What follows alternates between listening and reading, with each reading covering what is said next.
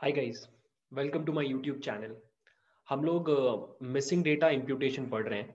हमने last video में complete case analysis पढ़ा जहाँ पे हमने ये सीखा कि अगर आपके पास किसी भी कॉलम में डेटा मिसिंग है तो अग, अगर आप चाहो तो आप उस पूरे रो को हटा सकते हो ठीक है?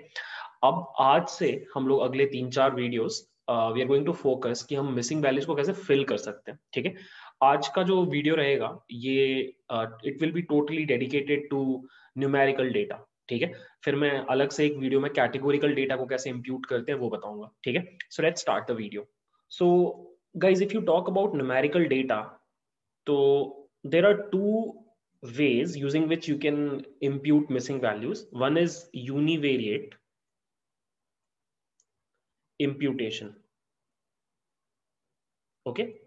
And the second one is multivariate imputation. ठीक है? दोनों में डिफरेंस क्या होता है?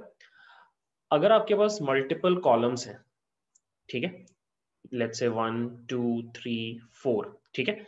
और यहाँ पर किसी एक पर्टिकुलर रो में कॉलम नंबर टू में कोई वैल्यू मिसिंग है। अब अगर आप इस वैल्यू को फिल करने के लिए इसी कॉलम के बाकी वैल्यूज़ को यूज़ करते हो तो दैट इज़ यूनिवेरिएट इम्प्यूटेशन तो ये बाकी वैल्यूज़ का आप मीन निकाल सकते हो मीडियन निकाल सकते हो रैंडमली उनमें से कोई एक वैल्यू सेलेक्ट कर सकते हो। बेसिकली कोई भी स्टैटिस्टिकल टेक्निक अगर आप लगा रहे हो on the same column then you are doing univariate imputation whereas अगर मैं सेम एग्ज़ाम्पल को एक्सटेंड कर दू लेट्स से यही हमारे चार कॉलम्स हैं और फिर से किसी एक पर्टिकुलर रो में हमारे पास uh, एक सिंगल मिसिंग वैल्यू है और इसको फिल करने के लिए अगर आप थ्री फोर और वन तीनों का हेल्प ले रहे हो तीनों की वैल्यूज़ का हेल्प ले रहे हो then this is multivariate imputation ठीक है? यहाँ पर हम दो टेक्निक्स पढ़ेंगे मल्टीवेरिएट में। Will study K N N imputer and will study iterative imputer ये दो हम लोग अलग वीडियोस में पढ़ रहे हैं। सो so, आज का जो पूरा वीडियो है ये वाला इसमें हम लोग फोकस कर रहे हैं univariate imputation and that too on top of numerical data ठीक है? ये यूनिवेरिएट और मल्टीवेरिएट कैटेगोरिकल डेटा पे भी एप्लीकेबल है बट हम जो आज पढ़ने वाले हैं that is going to be all about numerical data ठीक है? अब हम लोग चार अलग अलग केसेस uh, देखेंगे। चार अलग अलग तरीके से वैल्यूज़ फिल करना सीखेंगे। First would be mean and median values को फिल करना सीखेंगे। ये सबसे सिंपल टेक्निक होता है। सेकेंड हम लोग सीखेंगे आर्बिटरी कोई भी वैल्यू फिल कर देना hundred ninety nine nine nine nine minus one कोई भी एक वैल्यू से फिल करना, ठीक है? थर्ड हम सीखेंगे एंड ऑफ़ डिस्ट्रीब्यूशन को कैसे यूज़ किया जाता है टू फिल मिसिंग वैल्यूज़ ये अभी मैं इसके बारे में नहीं बता रहा। और लास्टली रैंडमली कोई वैल्यू फिल करना, ठीक है? और लास्ट में मैं आपको ये भी सिखाऊँगा कि इन चारों में से ऑटोमेटिकली बेस्ट टेक्निक को कैसे सेलेक्ट किया जाता है यूजिंग साइकिट लर्न ठीक है? तो that is the agenda for this video and there is a chance की वीडियो थोड़ा बड़ा हो जाए तो you will have to be a bit patient तभी आपको समझ में आएगा, ठीक है? So let's start with mean and median imputation so मैं आपको एक छोटा सा एग्ज़ाम्पल दे देता हूँ। कोई न्यूमेरिकल कॉलम है एज जिसमें इस तरीके से वैल्यू है, और फिर मिसिंग वैल्यूज़ है समथिंग लाइक दिस ठीक है? तो इस तरह के सिनारियों में आप क्या कर सकते हो? आप मीन या फिर मीडियन इम्प्यूटेशन कर सकते हो। मतलब ये हुआ कि जहाँ भी आपका मिसिंग वैल्यू है, उसकी जगह पर आप इस पूरे डिस्ट्रीब्यूशन का मीन या फिर मीडियन के वैल्यू से रिप्लेस कर सकते हो। दोनों में से कोई भी यूज़ कर सकते हो। अब बहुत लोग क्वेश्चन पूछते हैं कि कब मीन यूज़ करना चाहिए, कब मीडियन यूज़ करना चाहिए। तो बहुत सिंपल सी बात है। अगर आपका डिस्ट्रीब्यूशन काफ़ी नॉर्मल है नॉर्मली डिस्ट्रीब्यूटेड है तो फिर तो बहुत सिंपल है, आप सीधे मीन यूज़ कर लो। एक्चुअली मीन मीडियन और मोड तीनों एक जैसा ही बिहेव करेगा। अगर आपका डिस्ट्रीब्यूशन थोड़ा भी स्क्यूड है लाइक like दिस तो इस केस में आपका मीन थोड़ा शिफ्ट हो जाता है तो median is a better candidate ठीक है? तो आई होप आपको ये चीज़ समझ में आ रही है। अब फ़ायदा क्या है? मीन और मीडियन इंप्यूटेशन का व्हाट इज़ द बेनिफिट सबसे पहला बेनिफिट ये है कि ये इंप्यूटेशन टेक्निक बहुत ही सिंपल है। मतलब सिंपली मीन या मीडियम कैलकुलेट करके सारी मिसिंग वैल्यूज़ को रिप्लेस कर देना है। This is very very easy to implement ठीक है? सेकेंड इजी है तो सर्वर पे भी जब आप वेबसाइट डिप्लॉय करते हो अपना मशीन लर्निंग मॉडल का तो वहाँ पे भी इसको रिक्रिएट करना या रीयूज करना बहुत इजी हो जाता है। तो simplicity is very important second actually और कोई खास बेनिफिट है नहीं इसका. लाइक इट्स जस्ट सिंपल और कुछ रीजन नहीं है मतलब. ये आपको अच्छा रिज़ल्ट दे देगा अगर आपके पास कम मिसिंग वैल्यूज़ है. अगर बहुत ज़्यादा मिसिंग वैल्यूज़ है लेट्स से आपके पास फाइव परसेंट से ज़्यादा मिसिंग वैल्यूज़ है तो ये उतना रिलायबल नहीं रहता. तो जल्दबाजी में कभी कभी आप ये कर सकते हो बट मोस्टली आप इसको यूज़ नहीं करोगे. एटलीस्ट प्रोडक्शन में आप यूज़ नहीं करोगे. ठीक है? इसका डिसएडवांटेज क्या होता है? इसका डिसएडवांटेज सबसे बड़ा ये है कि ये आपके डिस्ट्रीब्यूशन का जो शेप होता है डिस्ट्रीब्यूशन का जो शेप होता है, उसको चेंज कर देता है। मतलब मिसिंग वैल्यूज़ जब थी तो डिस्ट्रीब्यूशन कुछ ऐसा था और जब आपने उसको मीन वैल्यू से रिप्लेस कर दिया तो डिस्ट्रीब्यूशन का शेप कुछ ऐसा हो गया। तो डिस्ट्रीब्यूशन को चेंज करता है, ठीक है? और ये ऑब्वियस बात है। आप सबको मीन से रिप्लेस करोगे तो ऑब्वियसली आपके डिस्ट्रीब्यूशन का शेप चेंज होगा। सेकेंड यहाँ पे आउटलायर्स आ जाते हैं। ये मैं आपको करके दिखाऊँगा प्रैक्टिकली कुछ एक्स्ट्रा आउटलायर्स आ जाते हैं जो कि आउटलायर्स नहीं है। उसको आपका सिस्टम uh, आउटलायर समझने लग जाता है ठीक है? थर्ड इज़ कि आपका आपका एज जो कॉलम है इसका जो रिलेशनशिप है बाकी कॉलम्स के साथ उसमें भी थोड़े चेंजेस आ जाते हैं। तो इसको बोला जाता है कोवेरियंस और या फिर को रिलेशन में चेंजेस और ये तीनों चीज़ें ही बहुत अच्छी नहीं है if you talk about machine learning आपका डिस्ट्रीब्यूशन बहुत चेंज नहीं होना चाहिए आउटलायर्स बिना बात के नहीं आने चाहिए, और आपका जो वेरिएबल है, जिसके, जिसका वैल्यूज़ आप फिल कर रहे हो, उसका रिलेशनशिप बाकियों के साथ चेंज नहीं होना चाहिए जब आप वैल्यूज़ फिल कर रहे हो। तो ये तीनों चीज़ें ही गड़बड़ है। तो देख के करना होता है मतलब कभी कभी आपको ये काम आ जाएगा बट मोस्टली रिस्की रहता है, ठीक है? अब कब यूज़ करना चाहिए? वेन टू यूज़ दो केसेस में। First when data is missing completely at random तभी आपको करना चाहिए। सेकेंड डेटा अगर कम मिसिंग है like less than five percent अगर डेटा मिसिंग है तो आपको ये अप्लाई करना चाहिए। बट आप देखोगे इंटरनेट पे बहुत जगह पे कि लोग एनीवेज यूज़ कर ही देते हैं इसको, ठीक है? क्योंकि ये बहुत सिंपल टेक्निक है। बट इससे सोफिस्टिकेटेड टेक्निक्स हैं तो आपको सब कुछ ट्राई करके देखना चाहिए। जो मैं आपको लास्ट सेक्शन में दिखाऊँगा कि how can you automatically select the best imputation technique तो अभी बस देख लेते हैं कि मीन और मीडियन का प्रैक्टिकल लाइक कोडिंग कैसे होता है ठीक है? सो ये हो गई पूरी बात related to mean medium now let's switch to the coding part ठीक है? uh, यहाँ पे मैं आपको दो अलग तरीकों से mean median import encoding I am sorry imputation करके दिखाऊँगा। One using pandas fill enable के एक फ़ंक्शन होता है आप वो यूज़ कर सकते हो।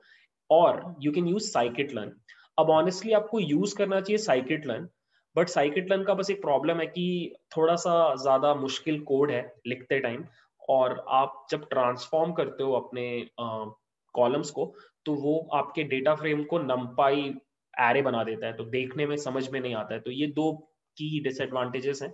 बट अपार्ट फ्रॉम दैट काम की चीज़ है जब आप साइकिट लर्न से यूज़ करोगे क्योंकि आप उस सेम चीज़ को पाइपलाइन uh, में डाल सकते हो आप उसके ऊपर ग्रिड सर्च सीवी वगैरह लगा सकते हो आप उस सेम चीज़ को प्रोडक्शन में डाल सकते हो। तो करना एंड में आपको चाहिए यूजिंग साइकिट लर्निंग तो मैं आपको दोनों अप्रोचेस बता रहा हूँ। I I also show you pandas में कैसे करते हैं आई ऑल्सो शो यू की साइकिट लर्न में कैसे करते हैं। बाकी आप अपने ऊपर डिसाइड कर लेना कि आपको कौन सा करना है। I would suggest scikit learn से करो ठीक है? एनीवेज ये मैंने लाइब्रेरीज इंपोर्ट कर ली हैं। और uh, मैंने एक डेटा सेट टाइटैनिक वाला डेटा सेट ही लिया है, उसमें थोड़ा सा मैंने चेंजेस कर दिए मैंने सिर्फ़ चार कॉलम्स रखे हैं बाकी सब मैंने हटा दिया। ये काइंड kind ऑफ़ of मेरा वर्जन ऑफ़ टाइटैनिक है। एज है फेयर है फैमिली है। Family is actually the summation of parent child and sibling spouse ठीक है? और सर्वाइव्ड कॉलम है। तो ये चार न्यूमेरिकल कॉलम्स हैं आप मेरे पास। और अभी मैंने जानबूझ के क्या किया है कि एज में तो पहले से मिसिंग डेटा था, आपको पता होगा। मैंने फेयर में भी रैंडमली मिसिंग डेटा इंट्रोड्यूस कर दिया अराउंड पाँच परसेंट, ठीक है? आई शो यू सो अगर मैं आपको ये दिखाऊँ mean you can see age में आपका 19 परसेंट डेटा मिसिंग है। फेयर में मैंने पाँच परसेंट डेटा खुद से हटा दिया है। फैमिली में कोई भी डेटा मिसिंग नहीं है सर्वाइड में कोई भी डेटा मिसिंग नहीं है। तो मेरा काम क्या है, मेरा टारगेट क्या है इस वीडियो में, कि मुझे एज और फेयर के मिसिंग वैल्यूज़ को इम्प्यूट करना है फिल करना है यूजिंग मीन मीडियन इम्प्यूटेशन ठीक है? तो पहले मैं आपको दिखाता हूँ। सबसे पहले आप हमेशा क्या करते हो कि आप ट्रेन टेस्ट स्प्लिट करते हो। ये आपने हमेशा ही किया है। ट्रेन टेस्ट स्प्लिट करने के बाद ये रहा मेरा shape 712 columns I am sorry 712 rows आ रहे हैं एक्स ट्रेन में और 179 रोज आ रहे हैं एक्स टेस्ट में, ठीक है? पता नहीं मैंने क्या बोला बट जो भी है। और अब एक्स ट्रेन में अगर आप देखो तो इतनी मिसिंग वैल्यूज़ हैं। अराउंड ट्वेंटी एज में और अराउंड फाइव अपना फेयर में, ठीक है? वो यूनिफॉर्मली डिवाइड हो गया ट्रेन और टेस्ट में। अब मैंने क्या किया? मैंने एज का मीन निकाला एज का मीडियन निकाला फेयर का मीन निकाला फेयर का मीडियन निकाला, क्योंकि इन्हीं वैल्यूज़ से मुझे फिल करना है और मैंने इन चार वेरिएबल्स में स्टोर कर दिया। ठीक है? उसके बाद का कोड बहुत सिंपल है। मैंने चार नए कॉलम्स बनाए, दो एज के लिए और दो फेयर के लिए। तो पहला जो एज का कॉलम है, उसमें मैं मीडियन वाले से रिप्लेस कर रहा हूँ। और दूसरे वाले में मैं एज वाले से सॉरी मीन वाले से रिप्लेस कर रहा हूँ। और ये सेम चीज़ मैं फेयर के ऊपर भी अप्लाई कर रहा हूँ। So you can see X train का age fill N A median age X train का age fill N A mean age ठीक है? और इसको मैंने जैसे ही चलाया आ, ये वार्निंग्स को आप इग्नोर कर सकते हो इस पॉइंट पे। हम एक्चुअली एक डेटा फ्रेम के एक पोर्शन के ऊपर चेंजेस कर रहे हैं तो वो वार्निंग आ रहा है। इट्स ओके okay, कोई प्रॉब्लम नहीं है। और अब मैंने एक्स ट्रेन डॉट सैंपल किया तो यू कैन सी ये रहा मेरा ओरिजिनल एज कॉलम जिसमें मिसिंग वैल्यूज़ हैं, और ये है मेरा इम्प्यूटेड एज कॉलम मीन के हिसाब से। तो इसमें जितनी भी मिसिंग वैल्यूज़ होंगी, जैसे यहाँ पे देखो लेट्स होप की आ जाए, जैसे हाँ ये देखो एज में ये मिसिंग वैल्यू है, यहाँ पे ये इम्प्यूट हो गया मीन वैल्यू से, और बाकी सारी values as it is same रहेंगी। जहाँ भी मिसिंग वैल्यूज़ होंगी, वहाँ पे बस आपका सॉरी दिस इज़ हाँ दिस इज़ मीडियन ये मीडियन से रिप्लेस हुआ यहाँ पे यहाँ पे आपका मीन से रिप्लेस हुआ, ठीक है? और बिल्कुल सेम चीज़ मैंने अप्लाई किया है फेयर के ऊपर। तो मैंने पैंडाज यूज़ करके मेरा काम कर दिया, ठीक है? अब उसके बाद अब आपको क्या करना चाहिए? जब भी आप ये इम्प्यूटेशन करो, आपको तीन चार चीज़ें देखनी चाहिए। सबसे पहले आपको वेरियंस देखना चाहिए कि वेरियंस में क्या चेंज आया, ठीक है? वेरियंस मतलब मीन से कितना डिविएट कर रहे हो आप। जनरली जब आप मीन मीडियन इम्प्यूटेशन करते हो तो होता क्या है कि आपका वेरियंस श्रिंक कर जाता है। क्योंकि आपकी ज़्यादा वैल्यूज़ अब मीन के पास चली गई तो ऑब्वियसली आपका वेरियंस रिड्यूस कर जाएगा, क्योंकि वेरियंस क्या होता है? मीन से दूरी का स्क्वायर सम राइट तो यहाँ पर यू कैन सी कि जो एज वेरिएबल था ओरिजिनल डेटा में, उसमें वेरियंस था 204 का बट जैसे ही मैंने एज मतलब मीडियन इंप्यूटेशन लगाया तो 161.98 हो गया, और मीन इंप्यूटेशन लगाया तो 161.82 हुआ। तो ये चीज़ आपको हमेशा याद रखनी है कि जब भी आप मीन या मीडियन इंप्यूटेशन लगाओगे किसी भी डिस्ट्रीब्यूशन पे न्यूमेरिकल डेटा पे आपका वेरिएंस श्रिंक कर जाएगा। आपको बस ये ख्याल रखना है कि बहुत ज़्यादा श्रिंक ना कर जाए। ड्रास्टिक चेंजेस नहीं होने चाहिए। अगर ड्रास्टिक चेंजेस हो रहे हैं तो that is a red flag ठीक है? सेम विथ फेयर फेयर में 2448 है हमारा वेरियंस और वो बहुत ज़्यादा रिड्यूस नहीं हुआ। और इसका रीजन ये है कि फेयर में बहुत कम मिसिंग वैल्यूज़ है तो इसलिए ज़्यादा चेंजेस नहीं आए। एयर में एज uh, uh, में there are twenty percent missing values तो बड़ा चेंज आया ठीक है? तो एयर मैं बार बार एयर बोल रहा हूँ सॉरी एज के केस में आपको थोड़ा सा केयरफुल रहना होगा कि आपने जो किया है वो हो सकता है उतने अच्छे रिजल्ट्स आपको ना दे ठीक है? सो आई होप आपको यहाँ तक समझ में आ रहा है। सेकेंड चीज़ जो आपको पता करनी चाहिए वो है कि डिस्ट्रीब्यूशन में कैसा चेंज आया। सो so, मैंने ये कोड लिख रखा है और ये फेयर का चेंज है और ये एज का चेंज है। सो so, एज में यू कैन सी कि जो ब्लू वाला कर्व है, ये मेरा ओरिजिनल एज है, जो ओरिजिनल डिस्ट्रीब्यूशन है, जिसमें मिसिंग वैल्यूज़ हैं, और ये जो ऑरेंज और ये जो ग्रीन है, ये मेरा मीडियन और मीन वाला डिस्ट्रीब्यूशन है। एंड यू कैन सी आपका डिस्ट्रीब्यूशन काफ़ी चेंज हो गया। मतलब सेंटर पे थोड़ा बड़ा हो गया, लंबा हो गया। उसका रीजन ये है कि आपकी मीन और मीडियन पे अब ज़्यादा वैल्यूज़ हैं। तो ज़्यादा सेंटर पे वैल्यूज़ होने की वजह से वहाँ का प्रोबेबिलिटी हाइयर है ठीक है? तो ये थोड़ा रेड फ्लैग है। आ, इस इस तरह का ड्रास्टिक चेंज नहीं आना चाहिए। वही अगर मैं सेम चीज़ फेयर पे अप्लाई कर रहा हूँ तो यू वुड सी कि आपको सिर्फ़ एक ही कर्व दिखाई दे रहा है। और उसका रीजन ये है कि तीनों कर्व एक दूसरे के ऊपर ओवरलैप कर रहे हैं। इसका मतलब है कि जो पहले का डिस्ट्रीब्यूशन था और जो इम्प्यूटेशन के बाद का डिस्ट्रीब्यूशन था दोनों मीन और मीडियन दोनों के केस में दोनों एग्जैक्टली ऑलमोस्ट सेम है ऑलमोस्ट सेम है इनफैक्ट ठीक है? मुझे कहीं यहाँ पे कुछ जगहों पे बस थोड़ा सा ऑरेंज शेड दिख रहा है but apart from that it's it's good ये ये देखने पे आपको डर नहीं लगना चाहिए दिस इज़ फाइन अगर डिस्ट्रीब्यूशन सेम आ रहा है that is a green flag कि आपको ये चीज़ कर सकते हो आप, ठीक है? और लास्टली आपको कोवेरियंस चेक करना चाहिए कि आपका कोवेरियंस कैसा है? मतलब आपका जो कॉलम है, वो बाकी के कॉलम्स के साथ उसका इंटरेक्शन चेंज तो नहीं हो गया। जैसे एज का अगर आप फेयर के साथ इंटरेक्शन देखो तो 70 था कोवेरियंस 70 था फैमिली के साथ माइनस सिक्स था, ठीक है? वही अगर आप एज मीन की बात करो तो अब देखो 55 हो गया तो फेयर के साथ जो उसका इंटरेक्शन था, वो रिड्यूस हो गया, ठीक है? और फैमिली वाले के साथ भी थोड़े से चेंजेस आए and same goes with age medium यहाँ पे भी चेंजेस आए हैं तो again changes are not good ठीक है? बहुत ज़्यादा चेंजेस आर नॉट गुड और आप सेम चीज़ को रिलेशन पे भी चला के देख सकते हो ऑल द को रिलेशन में आपको थोड़े छोटे चेंजेस दिखाई देंगे because correlation minus one से वन के बीच में रहता है को वेरियंस में ऐसा कोई लिमिट नहीं होता, ठीक है? तो या एंड लास्टली आपको बॉक्स प्लॉट चला के देखना चाहिए, जैसे कि यहाँ पर एज एज मीडियन और एज मीन के ऊपर जब मैंने बॉक्स प्लॉट चलाया तो यू कैन सी मेरे ओरिजिनल डेटा में बहुत कम आउटलायर्स थे बट जैसे ही मैंने एज मीडियन चलाया मतलब मैंने मीडियन से इंप्यूट की मिसिंग वैल्यूज़ को तो मेरा जो आई क्यू आर था इंटरक्वार्टाइल रेंज वो श्रिंक कर गया और उसकी वजह से क्या हुआ कि मेरे दोनों साइड आउटलायर्स आ गए, जो कि नॉर्मली आउटलायर्स कंसिडर नहीं होते। तो again this is also not good and ये सेम बिहेवियर मीन और मीडियन दोनों के केस में है। तो ये भी रेड फ्लैग है, ठीक है? और अगर आप इसकी बात करो फेयर की बात करो तो फेयर में यू वुड सी कि बिफोर एंड आफ्टर में कुछ चेंजेस नहीं है। आपका आई क्यू आर उतना ही है, आपके आउटलायर्स उतने ही है। तो there is no major change तो इन शॉर्ट अगर अभी की बात की जाए तो uh, अगर मेरे से आप पूछो तो मैं फेयर के लिए मीन मीडियन इम्प्यूटेशन यूज़ कर लेता क्योंकि कुछ भी रेड फ्लैग्स नहीं थे वेर एज एज के लिए मैं नहीं करता बिकॉज़ कंसिस्टेंटली मेरे को रेड फ्लैग्स मिल रहे हैं। कोवेरियंस कोरिलेशन चेंज हो रहा है आउटलायर्स आ रहे हैं डिस्ट्रीब्यूशन चेंज हो रहा है ये सब कुछ अच्छा नहीं है। आप इससे बेटर इम्प्यूटेशन टेक्निक खोजोगे ठीक है? अब लास्टली मैं आपको एक चीज़ और दिखाता हूँ कि आप साइकिट लर्न कैसे यूज़ कर सकते हो। मैंने फिर से सेम काम किया। ट्रेन टेस्ट स्प्लिट ले लिया सेम डेटा के ऊपर। अब मैंने दो इम्प्यूटर्स बनाए। By the way I am going to use this class called simple imputer scikit learn का क्लास है। और इसमें आपके पास बस यही वैल्यूज़ होती हैं। मतलब पैरामीटर्स ये होते हैं। मिसिंग वैल्यूज़ आप चाहो तो नैन के ऊपर कर सकते हो, या फिर आप ज़ीरो को रिप्लेस कर सकते हो। आप किसी भी वैल्यू को रिप्लेस कर सकते हो। मतलब आप किसी भी वैल्यू को मिसिंग वैल्यू मान सकते हो। बट जनरली लोग एनपी डॉट नैन रखते हैं। That is the default value इससे ज़्यादा आपको कुछ नहीं करना। आप उसके बाद आपसे पूछा जाता है स्ट्रैटेजी क्या है? स्ट्रैटेजी में आपके पास ऑप्शन है मीन मीडियन मोस्ट फ्रीक्वेंट ये मोस्ट फ्रीक्वेंट आप यूज़ करते हो जब आपके पास कैटेगोरिकल डेटा होता है। बेसिकली मोड ठीक है? एंड लास्टली कांस्टेंट ये हम यूज़ करेंगे जब हम आर्बिटरी वाला यूज़ करेंगे थोड़ी देर के बाद।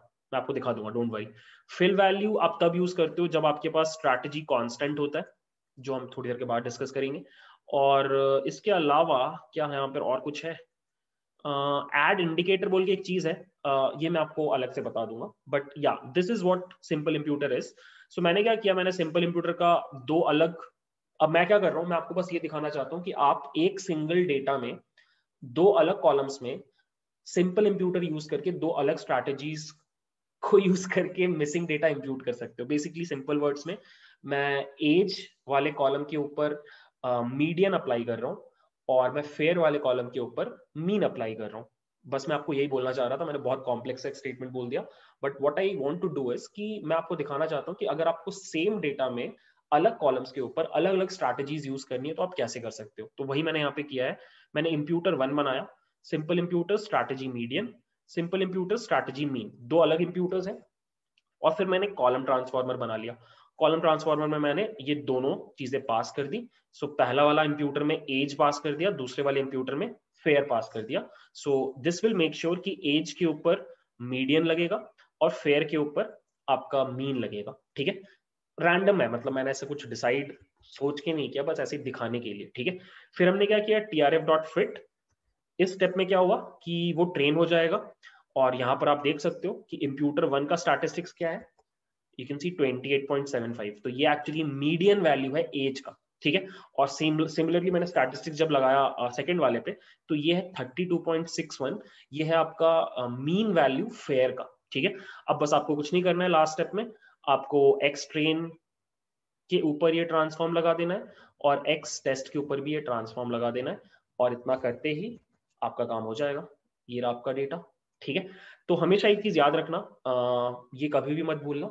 आप फिट करोगे ट्रेनिंग डेटा के ऊपर, आप मीन निकालोगे मीडियन निकालोगे ट्रेनिंग डेटा का बट ट्रांसफॉर्म करोगे आप एक्स टेस्ट के ऊपर भी, ठीक है? एक्स टेस्ट को ट्रांसफॉर्म करने के लिए भी आप किसका मीन वैल्यू यूज़ करोगे? ट्रेनिंग वाले डेटा का, ठीक है? तो ये हमेशा याद रखना, कुछ लोग यहाँ पे गड़बड़ करते हैं, ठीक है? Now we are done with the first strategy now will move on to the second one arbitrary value imputation so in arbitrary value imputation what you do is कि आप कोई एक वैल्यू से सारे मिसिंग वैल्यूज़ को fill कर देते हो। It could be any value जैसे मोस्टली ये टेक्निक आप कैटेगोरिकल वेरिएबल्स के केस में ज़्यादा यूज़ करते हो। वहाँ पे आप क्या करते हो? आपकी जितनी भी मिसिंग वैल्यूज़ हैं, उनको आप रिप्लेस कर देते हो with the word missing so so that आपके मशीन लर्निंग एल्गोरिदम को मॉडल को ये समझ में आ जाए कि यहाँ पे डेटा मिसिंग था और वो समहाउ डिफ्रेंशिएट कर पाए उन ऑब्जर्वेशन को उन ऑब्जर्वेशन से मतलब आई एम सॉरी मतलब आपका मशीन लर्निंग मॉडल डिफ्रेंशिएट कर पाए ऐसे ऑब्जर्वेशन को जिनके पास डेटा था वर्सेस ऐसे ऑब्जर्वेशन को जिनके पास डेटा नहीं था। तो that is why you use this technique in categorical data but ये सेम टेक्निक को आप न्यूमेरिकल के केस में भी यूज़ कर सकते हो। Uh, in the case of numerical what you do is you use some arbitrary number. So it could be 0 or it could be minus 1 or it could be 99 or 999 कुछ ऐसा जो आपके data में नहीं है। जैसे अगर आप एज का बात कर रहे हो तो आप 99 डाल सकते हो या माइनस वन डाल सकते हो ठीक है? तो ये अपने ऊपर है। द होल आइडिया इज़ कि आप क्या करते हो? आप एक डिफरेंस क्रिएट करना चाह रहे हो ऐसे ऑब्जर्वेशंस का जहाँ पे डेटा है वर्सेज ऐसे ऑब्जर्वेशंस का जहाँ पे डेटा नहीं है। That is the whole idea behind this technique ठीक है? यहाँ पे बेनिफिट यही है कि बहुत इजीली आप इसको अप्लाई कर सकते हो। इजी टू अप्लाई और डिसएडवांटेज आप बोल सकते हो वही सारे हैं जो आपके लास्ट टेक्निक में थे। फ़र्स्ट आपका जो ग्राफ होता है पीडीएफ वो डिस्टॉर्ट हो जाता है। ठीक है? सेकंड आपका जो वेरिएंस है, वो भी चेंज हो जाता है। और थर्ड आपका जो को वेरियंस और को रिलेशन है विथ अदर कॉलम्स वो भी चेंज हो जाता है। तो को वेरियंस ऑल्सो चेंजेस ठीक है? बट फिर भी आप इसलिए करते हो क्योंकि आप डिफरेंस क्रिएट करना चाहते हो, ठीक है? अगेन ये टेक्निक उतना ज़्यादा यूज़ नहीं होता ऑनेस्टली स्पेशली अगर आप न्यूमेरिकल डेटा का बात करो तो उतना ज़्यादा यूज़ नहीं होता है बट सिंस हम सब कुछ कवर कर रहे हैं तो मैं आपको ये टेक्निक भी बता दे रहा हूँ। अब आई क्विकली शो यू कि कोड में ही पूरा चीज़ कैसा दिखाई देगा। मैंने बिल्कुल सेम कोड लिख रखा है सेम डेटा सेट के ऊपर। बस इस बार मैं क्या करूँगा यू कैन सी इस बार मैं क्या कर रहा हूँ, मैं नए कॉलम्स बना रहा हूँ और मैं दो नए कॉलम्स बना रहा हूँ पर मिसिंग कॉलम पर मिसिंग वैल्यू वाला कॉलम एज uh, के लिए I am creating age underscore ninety nine बोल के कॉलम जिसमें मैं सारी मिसिंग वैल्यूज़ को रिप्लेस कर रहा हूँ with ninety nine and age minus one बोल के एक नया कॉलम बना रहा हूँ जहाँ पे मैं एज की सारी मिसिंग वैल्यूज़ को रिप्लेस कर रहा हूँ with minus one and same with fare fare में मैं नाइन नाइनटीन नाइन से रिप्लेस कर रहा हूँ और माइनस वन से रिप्लेस कर रहा हूँ. और uh, ये करने के बाद अगर आप नोटिस करो तो वेरियंस आपका चेंज हो जाएगा। यू कैन सी वेरिएंस 204 था इनिशियली 99 करने पे 951 हो गया बहुत ज़्यादा और माइनस uh, वन करने पे भी ज़्यादा ही है एक्चुअली ठीक है? और सेम गोज विथ आपका फेयर वाला कॉलम 2448 से 47000 हो गया बहुत ज़्यादा ठीक है? बट अगेन इसमें कोई प्रॉब्लम नहीं है ये पूरा टेक्निक इसीलिए किया ही जाता है कि आप डिफरेंस क्रिएट कर पाओ ठीक है? Uh, अगर आप डिस्ट्रीब्यूशन का बात करो तो यहाँ पे डिस्ट्रीब्यूशन आप देख सकते हो। जो ब्लू वाला है, वो आपका नॉर्मल है मिसिंग वैल्यूज़ के साथ। जो ऑरेंज है, वो है आपका नाइनटी नाइन वाला। और यहाँ पे आप देख सकते हो कि मीन से थोड़ा नीचे आ गए हो आप। और आपका एक और काइंड ऑफ़ पीक आया हुआ है 99 की साइड क्योंकि 99 की बहुत सारी वैल्यूज़ हो गई हैं। सिमिलरली एज माइनस वन के केस में आपका ये पीक आया हुआ है क्योंकि आपकी नेगेटिव वन की वैल्यू काफ़ी सारी है ठीक है? एंड यही सेम चीज़ मैंने यहाँ पे फेयर पे चला के रखा है आप एक बार देख सकते हो। कोवेरियंस uh, भी आप एनालाइज करोगे तो आपको दिखाई देगा चेंज हो जाता है सो so, कुछ नया नहीं है यहाँ पे। And same goes with correlation ठीक है? और साइकिट लर्न में भी अगर आपको यूज़ करना है तो ये एग्जैक्टली सेम टेक्निक है। uh, यहाँ पर भी आप क्या करते हो uh, बस जब आप सिंपल इंप्यूटर क्लास को कॉल कर रहे हो आप स्ट्रैटेजी कांस्टेंट कर लेते हो और आपका फिल वैल्यू आपको जो भी देना है आप वो दे सकते हो। मैंने यहाँ पे कोड लिख रखा है कि आप दो अलग कॉलम्स के ऊपर दो अलग वैल्यूज़ कैसे फिल कर सकते हो उसका कोड यहाँ पे लिखा हुआ है। You can just go through the code कुछ खास यहाँ पर नया आपको नहीं मिलने वाला ठीक है? तो इन समरी आर्बिटरी वैल्यू के साथ आप तब रिप्लेस करते हो।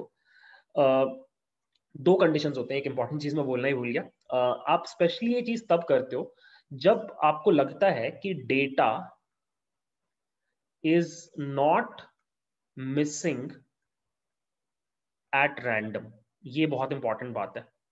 आप मीन और मीडियन से तब रिप्लेस करते हो जब आपको लगता है data is completely missing at random यहाँ पे अगर आपको लगता है कि डेटा रैंडमली मिसिंग नहीं है मतलब चंक्स में मिसिंग है, यहाँ पे थोड़ा ज़्यादा, फिर कहीं और रैंडम नहीं है तो वहाँ पे आप ये टेक्निक यूज़ करते हो कि आप बस बता देते हो कि यहाँ पे डेटा मिसिंग है। बाकी का काम आपका एल्गोरिदम हैंडल करता है। बट अगेन ये टेक्निक उतना ज़्यादा यूज़ नहीं किया जाता। कंसिडरिंग और इससे बेटर टेक्निक्स अवेलेबल है, ठीक है?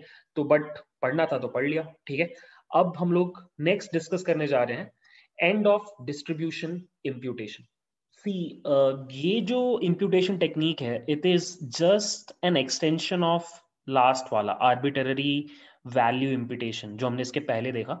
आर्बिटरी वैल्यू इम्प्यूटेशन में आप क्या करते हो, किसी भी एक आर्बिटरी नंबर से मिसिंग वैल्यूज़ को रिप्लेस कर देते हो।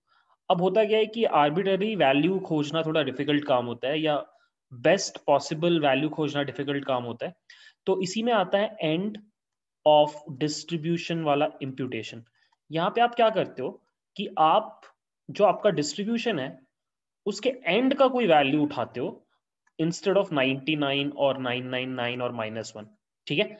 मतलब यहाँ पे दो केसेस हैं। अगर आप जिस कॉलम के ऊपर ये इम्प्यूटेशन लगा रहे हो, वो अगर नॉर्मली डिस्ट्रीब्यूटेड है